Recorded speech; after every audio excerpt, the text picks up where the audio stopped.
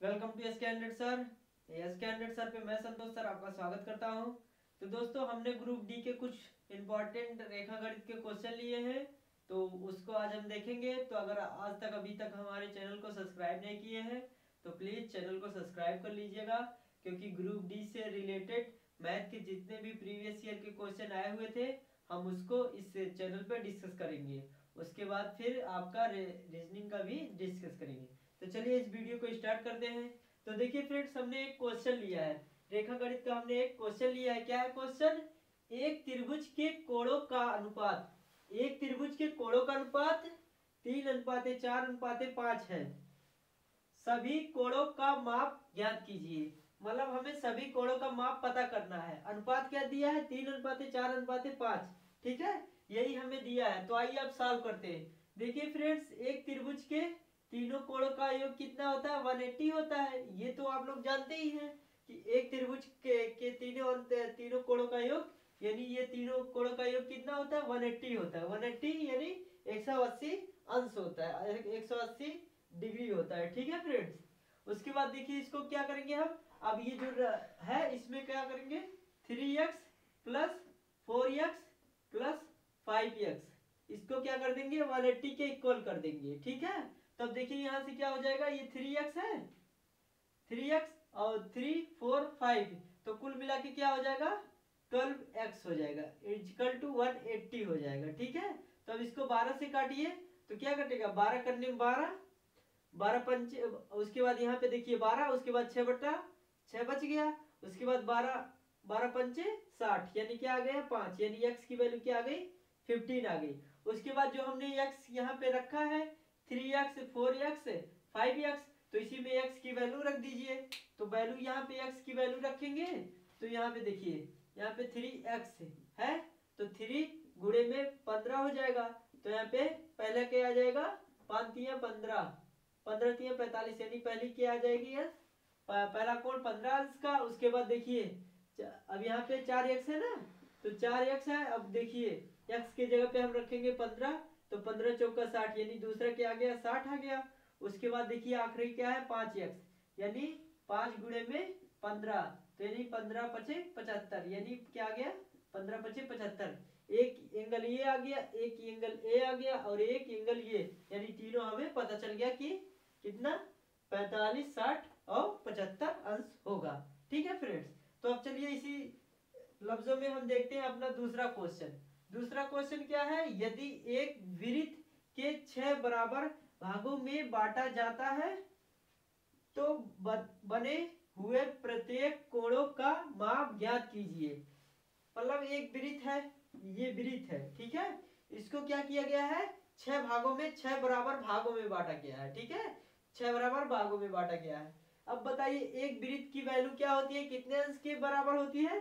तीन सौ साठ हर्ट्ज के बराबर एक वृत्त की वैल्यू होती है, ठीक है फ्रेंड्स उसके बाद देखिए क्या करेंगे हम? ये जो 360 है, इसमें छह से भाग कर देंगे। क्योंकि छह बराबर भागों में बांटना है तो अब इसको काटिए तो छछक छत्तीस। छछक छत्तीस यानी साठ आ जाएगा। यानी प्रत्येक कोणों का मान कितना हो जाएगा? साठ अंश ठीक है? साठ अंश साठ अंश के छह कोण बनेंगे, ठीक है? तो अब ये हो गया हमारा क्वेश्चन नंबर टू अब देखते हैं। तो देखिए फ्रेंड्स ये हमारा तीसरा क्वेश्चन है, ये हमारा चौथा क्वेश्चन है। इसको हम क्वेश्चन को देखते ही कैसे सॉल्व करेंगे, आइए देखते हैं वो मेथड। मेथड क्या है फ्रेंड्स? देखिए, क्वेश्चन दिया है आकृति में, यानी ये आकृति है, में ए क्या है? एंगल बी ए ई बराबर तीस अंश, और उसके बाद एंगल बी ए ई बराबर तीस अंश है, उसके बाद दूसरा angle A B E A B E A B E कितना है? अस्सी अंश, और angle D B E angle D B angle D B E कितना है? फिफ्टी अंश उसके बाद एंगल बी सी ई का मान क्या होगा? इसे हमें पता करना है फाइंड करना है। अगर फिगर दिया हो फ्रेंड्स तो ज़्यादा नहीं बस एक सेकंड का सवाल है आपका सॉल्व हो जाएगा। देखिए कैसे।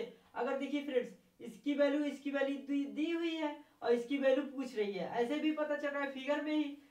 ठीक है? तो और जानते ही है कि ट्रेंगल की वैल्यू क्या होती है? एक ट्रेंगल की वैल्यू 180 होती है। ठीक है? तो अब देखिए क्या करेंगे? इसको और इसको काउंट करेंगे। तो अब देखिए यहाँ पे क्या हो जाएगा? तीस प्लस अब यहाँ पे एट्टी और फिफ्टी तो कितना हो जाएगा? थर्टी।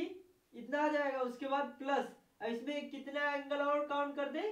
कि 180 के इक्वल हो जाए तो यानी 20 काउंट कर देंगे तो 180 के इक्वल हो जाएगा। तो इसकी वैल्यू क्या आ जाएगी? यहाँ से 20 आ जाएगी। ठीक है फ्रेंड्स क्योंकि एक ट्रेंगल की वैल्यू 180 होता है। तो यहाँ पे 30 इसकी वैल्यू हो गई, और 50 और 50 और 80 आठ पाँच तेरह, कितना हो गया? 130 अंश हो गया, ठीक है? उसके बाद ये क्या हो गया? 130 प्लस 30 क्या हो गया? 160 उसके बाद एक अगर 20 को काउंट कर देंगे तो 180 के बराबर आ जाएगा। तो यानी एंगल सी की वैल्यू क्या है? 20 अंश है, ठीक है फ्रेंड्स तो अब देखते हैं क्वेश्चन नंबर फोर त्रिभुज के दो कोण सत्तर अंश और चालीस अंश है। तीसरा कोण ज्ञात कीजिए। ग्रुप डी में ये आया हुआ क्वेश्चन है। तो देखिए फ्रेंड्स क्या है? तीसरा कोण हमें पता करना है, जिसमें से दो कोणों की वैल्यू एक सत्तर है, एक तीस अंश है। तो फ्रेंड्स, एक आप जानते ही हैं, एक ट्रेंगल की वैल्यू 180 होती है। तो यहाँ से देखिए फ्रेंड्स, यहाँ पे क्या है? सत्तर और चालीस क्या हो जाएगा? 110 हो जाएगा। उसके बाद अगर किस, कितना? सत्तर और काउंट कर देंगे तो 180 के इक्वल हो जाएगा। यानी तीसरा कोण कितना होगा? सत्तर अंश का। ठीक है फ्रेंड्स? तो ये था हमारा क्वेश्चन नंबर चौथा। अब देखते हैं क्वेश्चन हमारा क्वेश्चन नंबर कितना है? पांचवा है। अब क्वेश्चन नंबर पांचवा को कैसे हम विद इन टू सेकंड में सॉल्व करेंगे, देखिए। पहले तो हम आपको मेथड बना, बताएँगे, उसके बाद दिखाएँगे आपको कैसे within five second two second में सॉल्व करेंगे। तो देखिए, पहले हम क्वेश्चन को पढ़ते हैं। एक समकोण त्रिभुज के कण लंब से चार सेंटीमीटर लंबा है और जो आधार से चार सेंटीमीटर लंबा है। यानी ये क्या है? एक समकोण त्रिभुज है। हमने एक समकोण त्रिभुज बना लिया है। उसमें क्या है? कर्ण लंब से चार सेंटीमीटर लंबा है। यानी पहले क्या है? जो ये लंब है, लंब से, ये कर्ण क्या है? चार सेंटीमीटर लंबा है। उसके बाद इसकी भी वैल्यू एक्स मान लेते हैं। ठीक है? उसके बाद क्या है फ्रेंड्स देखिए, उसके बाद जो आधार से चार सेंटीमीटर लंबा है, यानी ये लंब जो है क्या है? आधार से चार सेंटीमीटर लंबा है। यानी ये हो गया चार।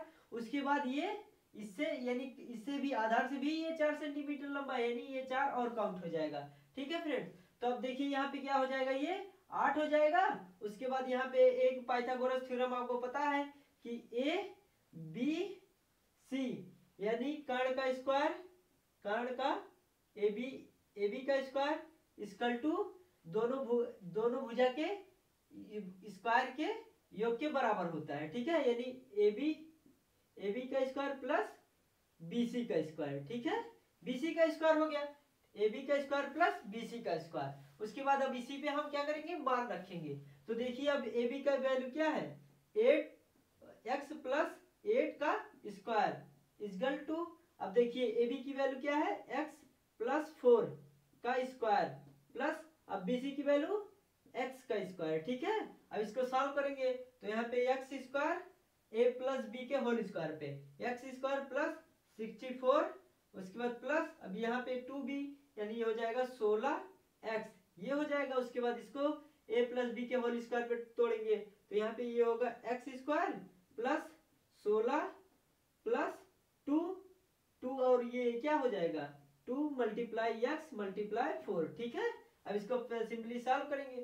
तो यहाँ पे देखिए, यहाँ पे ये तो एक्स एक्स यानी जो समान समान दोनों पक्ष में, दोनों तरफ़ अगर समान समान रहेगा प्लस प्लस में रहेगा तो वो कट जाता है। ठीक है फ्रेंड्स ये बात ध्यान रखना आप लोग। तो यहाँ पे ये प्लस एक्स स्क्वायर तो ये रहेगा ही। अब देखिए क्या करिए फ्रेंड्स ये जो है इसको और इसको इस साइड ले आइए। तो अब देखिए चौसठ माइनस सोलह हो जाएगा प्लस सोलह यक्स। अब यहाँ पे ये क्या हो जाएगा? चार दुनिया आठ, यानी आठ यक्स हो जाएगा। तो इधर आठ यक्स आएगा तो माइनस आठ यक्स हो जाएगा। उसके बाद इधर एक्स स्क्वायर बचेगा, ठीक है? अब देखिए क्या करिए, इसमें से माइनस करिए। तो अब यहाँ पे माइनस करेंगे तो देखिए क्या होगा? छह में से चौदह में से छह जाएगा, आठ बचेगा, उसके बाद देखिए, यहाँ पे एक कैरी में दे दिए तो यहाँ पे पाँच। पाँच में से एक जाएगा तो क्या बचेगा? चार बचेगा प्लस अब यहाँ सोलह में से आठ जाएगा तो आठ यक्स बचेगा, ठीक है? उसके बाद यहाँ पे एक्स स्क्वायर है। अब क्या करिए फ्रेंड्स इतने को इस साइड ले आइए। तो इस साइड लाएँगे तो एक्स स्क्वायर एक्स स्क्वायर उसके बाद ये हो जाएगा माइनस एट यक्स उसके बाद माइनस फोर्टी एट, बराबर ज़ीरो। ये हो गया।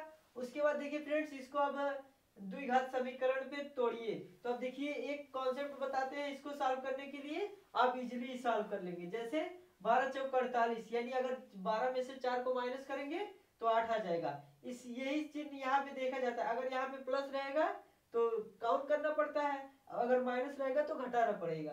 तो बारह चौक अड़तालीस होगा। अब इसका क्या करना पड़ेगा? मल्टीप्लाई क्या होता है? ये ध्यान रखना पड़ेगा, ठीक है? तो बारह चौक अड़तालीस होता है। यानी बारह में से चार को हम माइनस कर देंगे तो आठ बराबर आ जाएगा। तो आप देखिए क्या होता है फ्रेंड्स यहाँ पे, एक बात यहाँ ध्यान करिएगा कि यहाँ पे अगर प्लस रहेगा तो इसका विपरीत हो जाएगा। यानी बारह ये प्लस में हो जाएगा। उसके बाद जो चार आएगा इधर बारह चौक अड़तालीस तो ये हो जाएगा क्या? माइनस में क्या हो जाएगा फ्रेंड्स? ये हो जाएगा आपका माइनस चार हो जाएगा, ठीक है? तो अब ये वैल्यू क्या आ गई? एक्स की वैल्यू यहाँ से आ गई, बारह आ गई, ठीक है? क्योंकि एक्स की वैल्यू माइनस में नहीं होती, यानी एक्स की वैल्यू यहाँ से क्या आ गई? बारह आ गई, ठीक है फ्रेंड्स? उसके बाद अब इसी में रख दीजिए मान। इसी में क्या करिए? पुटअप कर दीजिए। तो यहाँ पे पुटअप करेंगे तो यहाँ पे बेस की पूछा तो बारह आ जाएगी, जो क्या हो जाएगा हमारा? आधार की लंबाई की गणना कीजिए तो बारह हमारा आंसर हो जाएगा। ठीक है फ्रेंड? तो ऐसे ही हम सॉल्व कर सकते हैं। अब इतना सॉल्व किए थे, यही पे क्या करते हैं आप? इसको सॉल्व करते हैं जल्दी से, उसके बाद यहाँ पे बारह के एक्स की वैल्यू पता कर लेते तो यहाँ पे आ जाती। तो आज की वीडियो में बस इतना ही। अगर वीडियो अच्छा लगे तो प्लीज़ चैनल को सब्सक्राइब कर दीजिएगा लाइक करिएगा शेयर करिएगा और कमेंट तो हंड्रेड परसेंट करिएगा। तो वीडियो कैसा लगा ये मुझे कमेंट करके